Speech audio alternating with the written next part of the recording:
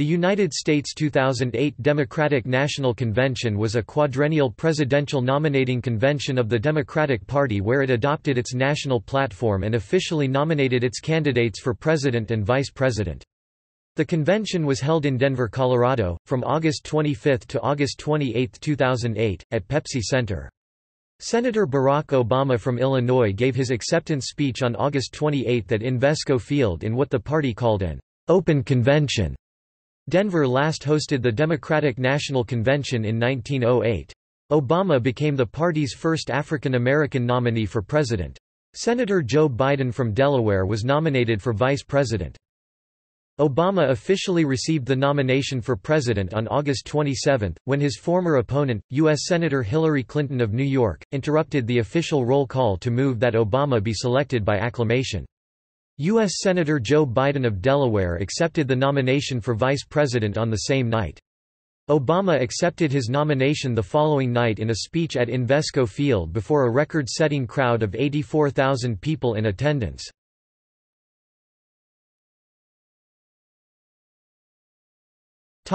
Leadership Howard Dean presided over the political party in his capacity as chair of the Democratic National Convention.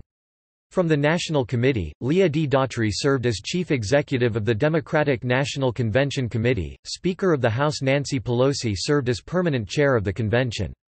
Sharing in her responsibilities in the convention were three co-chairmen, Kansas Governor Kathleen Sebelius, Texas State Senator Leticia R. Van de Putte, and Atlanta Mayor Shirley Franklin.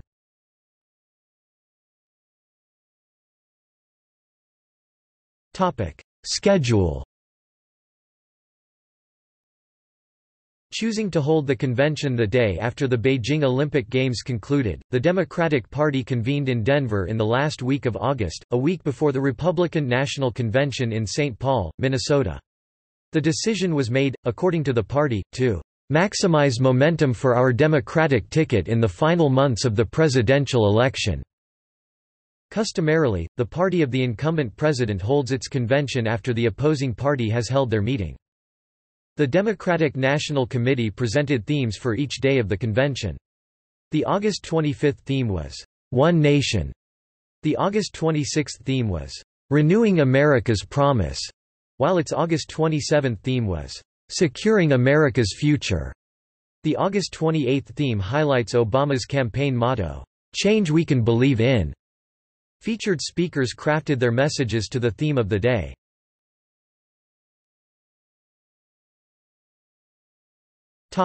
Early party division With close delegate counts for Barack Obama and Hillary Clinton, there was early speculation of the first brokered convention in decades. Democratic National Committee Chair Howard Dean sought to avoid such a circumstance. In addition to the possibility of a brokered convention, a dispute over seating delegates from Florida and Michigan led some to compare the year's convention with the 1968 Democratic National Convention, which ended in a divided party and unhappiness over the outcome. This speculation ended when Obama was projected the Democratic candidate for president on June 3, 2008, and Clinton officially announced later that week that she was suspending her campaign and was fully endorsing Obama.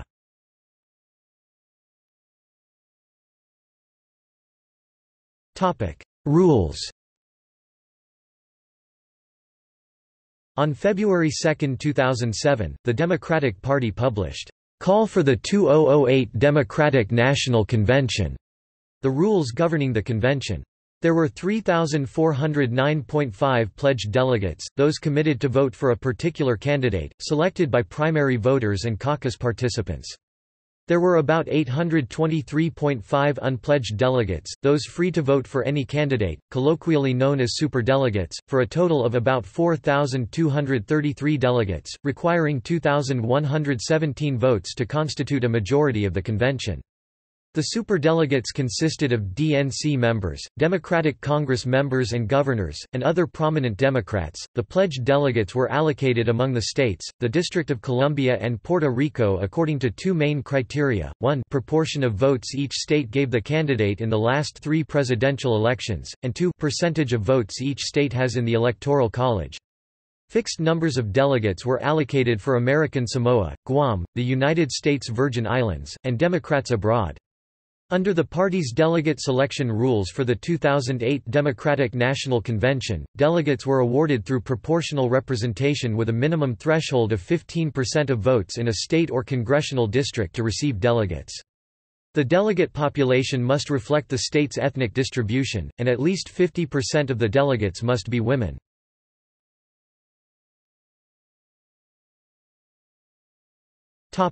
Results of delegate voting Along with presumptive presidential nominee Barack Obama, former opponent Hillary Clinton's name was also placed in nomination for president.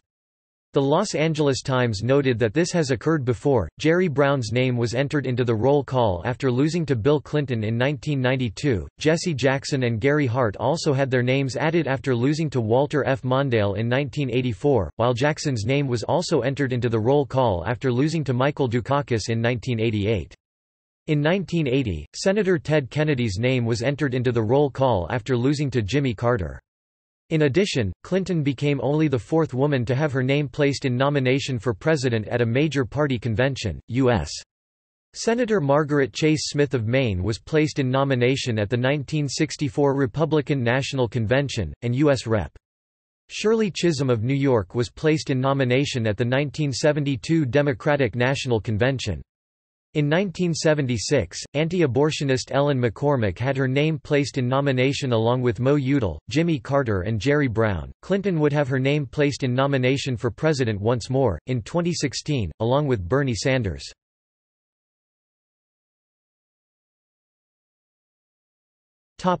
President Part way through the roll call the New Mexico delegation first yielded to the Illinois delegation, who then yielded to the New York delegation. Senator Clinton of New York moved to suspend the rules of the roll call and nominate Obama by acclamation. This was done and the verbal roll call vote was halted. Earlier the same day, Clinton had released her delegates, allowing them to vote for Obama. Along with the verbal roll call, a paper ballot was taken.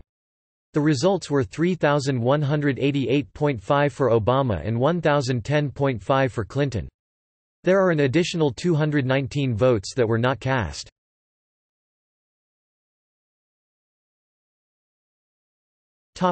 Vice President Joe Biden was nominated by acclamation.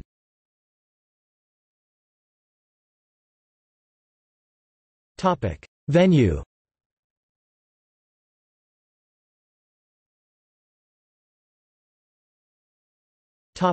Site selection In late November 2005, 35 locations were invited by the DNC to bid for the right to host the 2008 convention, Atlanta, Baltimore, Boston, Charlotte, Chicago, Cleveland, Dallas, Denver, Detroit, Houston, Indianapolis, Kansas City, Las Vegas, Los Angeles, Memphis, Miami, Miami-Dade County, Milwaukee, Minneapolis, St. Paul, Nashville, New Orleans, New York City, Orlando, Philadelphia, Phoenix, Pittsburgh, Portland, St. Louis, Sacramento, Salt Lake City, San Antonio, San Diego, San Francisco, Seattle, and Washington, D.C. Eleven cities originally accepted the invitation to bid for the convention in January 2006, Anaheim, Dallas, Denver, Detroit, Las Vegas, Minneapolis St. Paul, New Orleans, New York City, Orlando, Phoenix, and San Antonio. A formal request for proposal was mailed to participating cities on February 27 and the deadline for cities to respond was May 19, 2006. Only three cities submitted final proposals to host the convention, Denver, Minneapolis St. Paul, and New York. New Orleans had submitted an initial bid, but on July 12, the city dropped out. The cities were visited by a 10-member technical advisory committee in June 2006. On September 27, the Republicans announced they would have their 2008 convention in St. Paul, removing it from consideration and leaving only Denver and New York as potential hosts. Despite hard lobbying by New York party boosters, then Republican Mayor Michael Bloomberg dealt the campaign a major blow when he announced the city lacked the financial means to support a convention. Denver was chosen as the host on January 11, 2007, as Democrats looked to make gains in the «Purple West» States of Colorado, Nevada, and New Mexico. Topic: Preparations The work to prepare Pepsi Center for the Democratic National Convention was expected to cost $15 million. In addition, a 220,000 square foot 20,000 square meters temporary building to be used by the media was built near Pepsi Center. Convention organizers, including the Democratic National Convention Committee and the Denver 2008 Convention Host Committee, expected 50,000 attendees, out of which 5,000 were delegates and 15,000 media personnel. However, they anticipated 75,000 people coming to watch Obama accept the nomination on Thursday.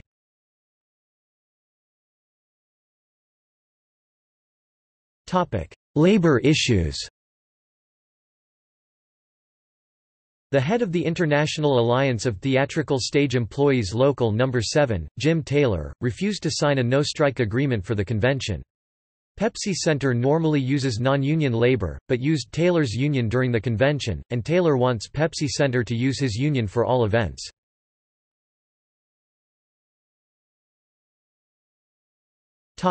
Security measures As with past political conventions since 2000, the Democratic National Convention was designated a National Special Security Event by the United States Department of Homeland Security. The Denver Police Department doubled in size to 3,000 officers for the DNC, and by including other police from 52 neighboring law enforcement agencies. Police were equipped with riot gear in preparation for unorganized protests. Throughout the event, a total of 152 arrests were made for offenses related to the convention.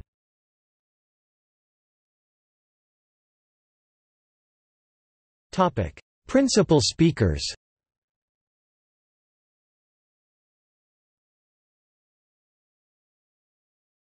Topic: Monday, August 25 The theme for the day was, "'One Nation' With Michelle Obama as the headline primetime speaker, she was introduced by her brother, Craig Robinson. In her speech, she explained how her husband embraced the One Nation idea.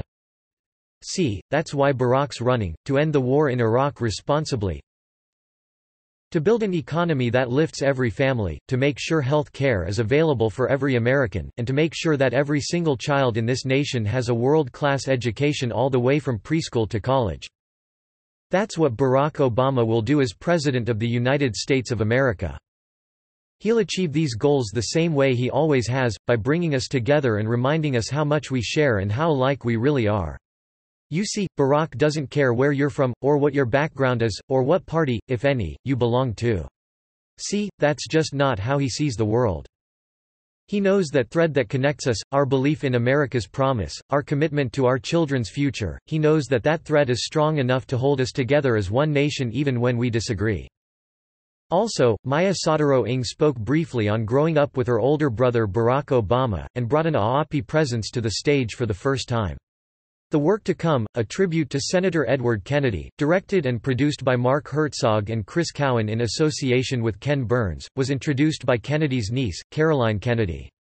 Consistent with the theme of the evening, former Republican Congressman Jim Leach gave his public endorsement of Barack Obama. His speech was introduced by Senator Tom Harkin, a fellow Iowan. Senator Kennedy was not expected to attend the convention due to his illness, but nevertheless made a surprise appearance and speech in the evening.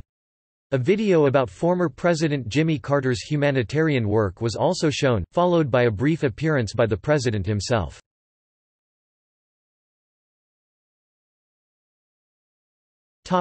Tuesday, August 26 The theme for the day was, Renewing America's Promise. Senator Barbara Mikulski was one of several elected women Democrats selected to speak that evening. Senator Hillary Clinton was the headline primetime speaker. In her speech, with former President Bill Clinton watching, Hillary declared, "We are on the same team." Former Virginia Governor Mark Warner delivered the keynote address which included references to new job creation. That's a story worth rewriting all across America. With the right leadership, we can once again achieve a standard of living that is improved, and not diminished, in each generation.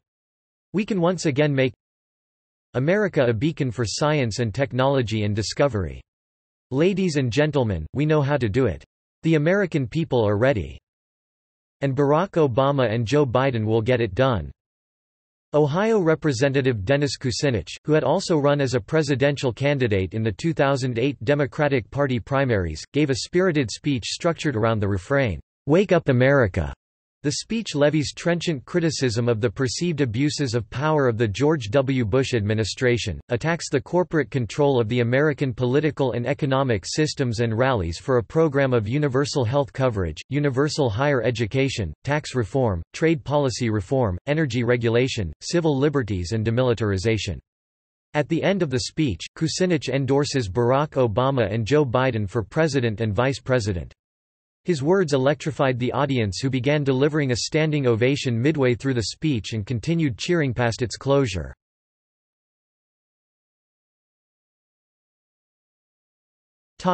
Wednesday, August 27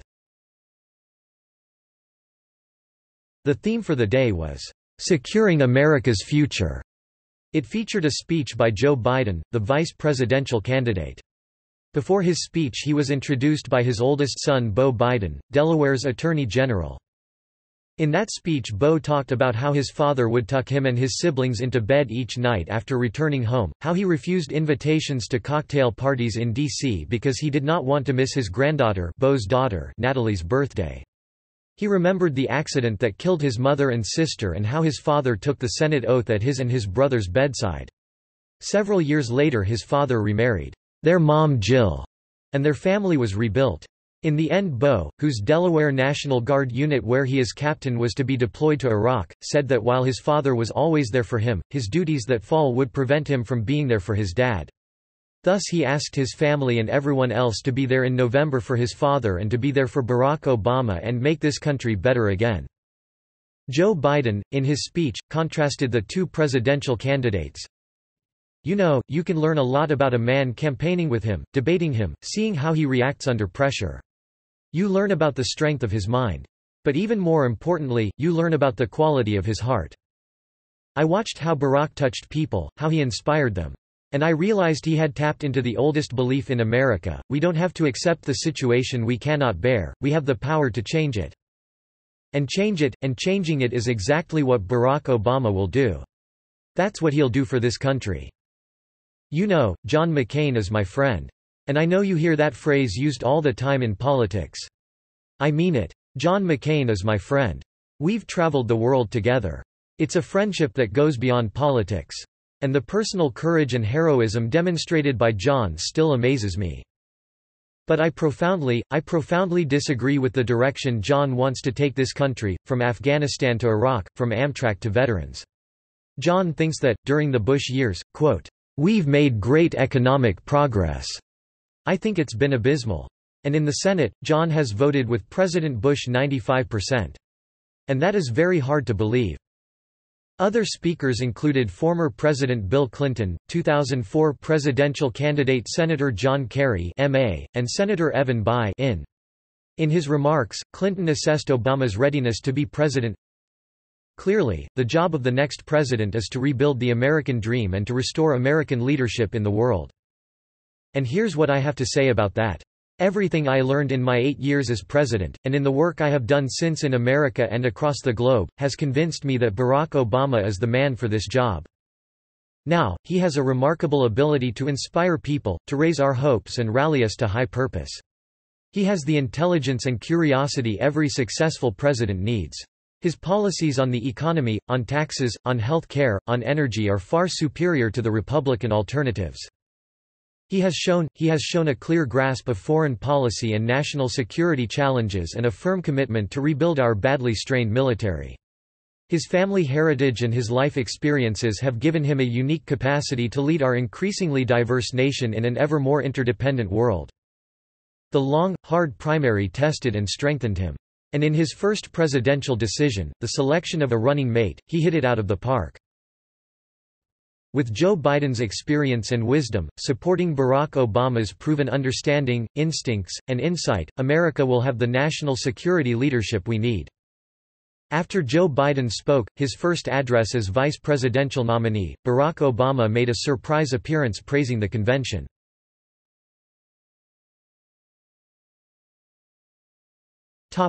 Thursday, August 28 The convention moved to Invesco Field at Mile High, with a DNCC record crowd of more than 84,000 people in attendance. Speakers included former Vice President Al Gore, Governor of Virginia Tim Kaine, Governor of New Mexico Bill Richardson, Illinois Senator Dick Durbin, and the evening culminated in Barack Obama's acceptance speech. More than 38 million people across 10 U.S. cable and broadcast TV networks tuned in to watch. In his speech, Obama said, our government should work for us, not against us. It should ensure opportunity, not for just those with the most money and influence, but for every American who is willing to work. That's the promise of America, the idea that we are responsible for ourselves, but that we also rise and fall as one nation, the fundamental belief that I am my brother's keeper, I am my sister's keeper. That's the promise we need to keep, that's the change we need right now. The speech was well received, one news source calling it the wrap-up to the party convention blended old-fashioned speechmaking, Hollywood-quality stagecraft and innovative, Internet-age politics.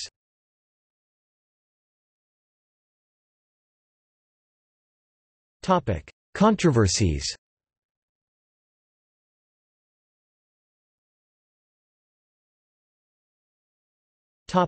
Seating of delegates from Florida and Michigan.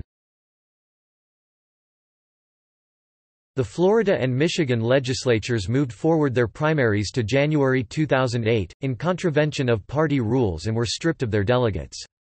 The Clinton campaign with others initially opposed their seating, stating they acknowledged that the delegates from neither Michigan nor Florida would count.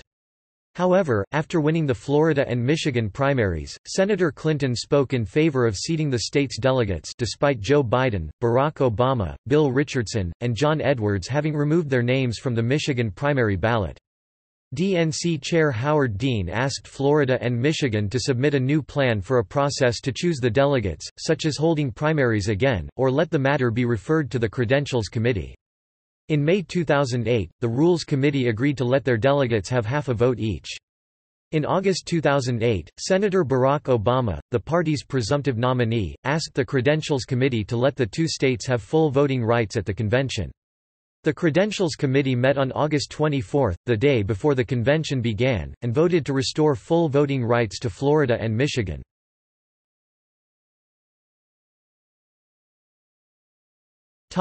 Use of municipal fuel by convention planners From March through July, convention planners were provided subsidized and untaxed fuel from municipal government gas pumps at a price less than retail fuel available to ordinary citizens, reportedly without a signed contract. After the practice became public at a meeting with city council members, only convention planners' buses were allowed to refuel at city facilities.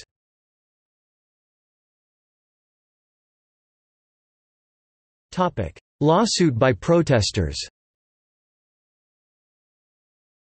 The American Civil Liberties Union filed a lawsuit on behalf of 12 organizations who plan to protest at the Democratic Convention, requesting that the Secret Service and Denver officials release information about procedures concerning protesting times and the demonstration zone. In a June 12 release, a parade route and demonstration zone were announced. The demonstration zone will be in parking lot A of Pepsi Center. Some groups, including two groups opposing abortion chose to delay filing suit after it was announced that their applications for permits are being processed. In an amended complaint, the ACLU and interested advocacy groups have filed suit against the Secret Service and the City and County of Denver, questioning the constitutionality of the restrictions. The lawsuit failed and the ACLU did not appeal.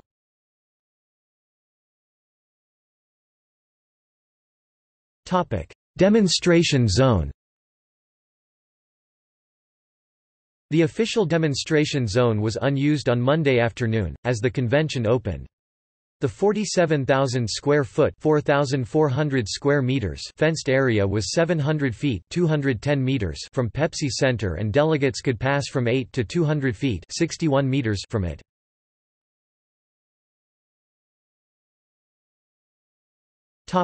Gitmo on the Platte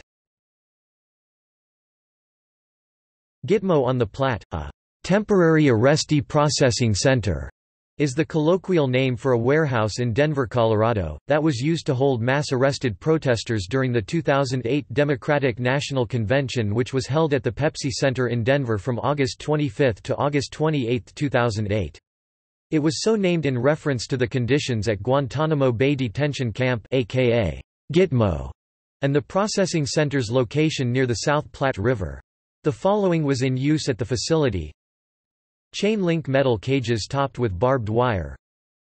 Electric stun devices. Topic: Suspected assassination plot. On August 24, three men were arrested in the Denver, Colorado area on drugs and weapons charges. Following the arrests of Sean Robert Adolph, Theron Robert Gartrell and Nathan Johnson, a possible plot to assassinate Senator Obama surfaced. Authorities later said they had determined the trio posed no credible danger to Obama. U.S. Attorney Troy Eid said, We're absolutely confident that the meth heads were not a true threat to the candidate, the Democratic National Convention or the people of Colorado.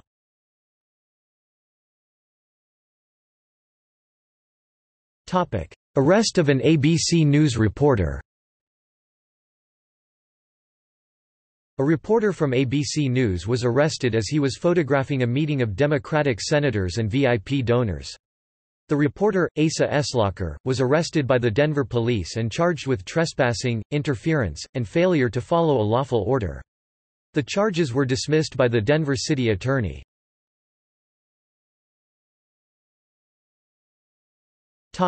Abortion protest sign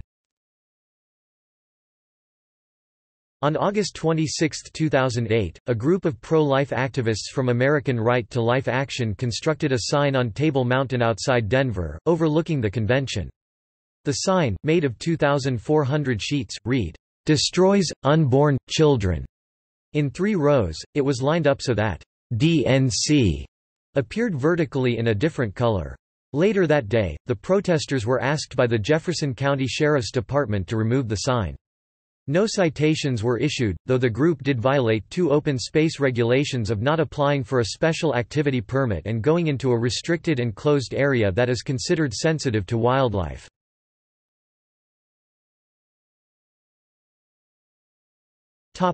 Website Microsoft was chosen as the web content provider for the convention website, along with Vertigo Software as the developer.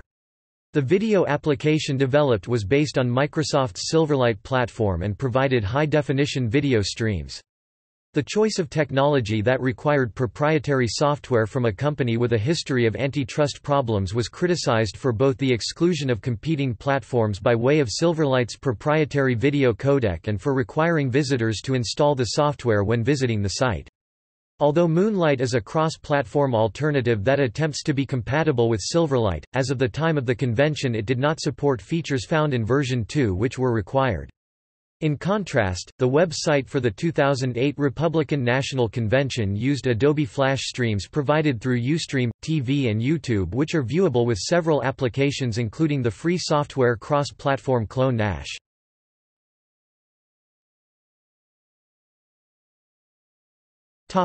Depiction in media Ava DuVernay was commissioned by the Smithsonian's National Museum of African American History and Culture to create a film which debuted at the museum's opening on September 24, 2016.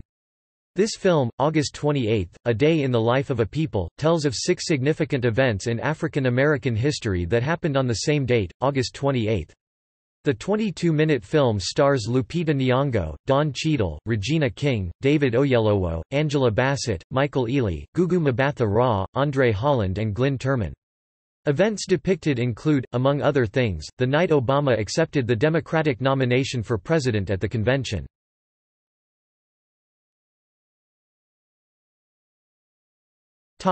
See also 2008 Green National Convention 2008 Libertarian National Convention 2008 Republican National Convention Democratic Party United States Superdelegates 2008 Denver 2008 Convention Host Committee 2016 Democratic National Convention United States presidential election 2008 History of the United States Democratic Party List of Democratic National Conventions. U.S. Presidential Nomination Convention. Barack Obama Presidential Campaign, 2008